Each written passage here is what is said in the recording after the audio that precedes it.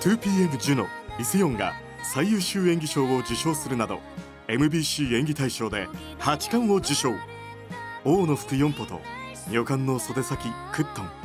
対照的な2つの赤い袖先が触れ合い切ない愛が動き始める王イさんの若かりし日の秘めた愛を美しい映像で綴る赤い袖先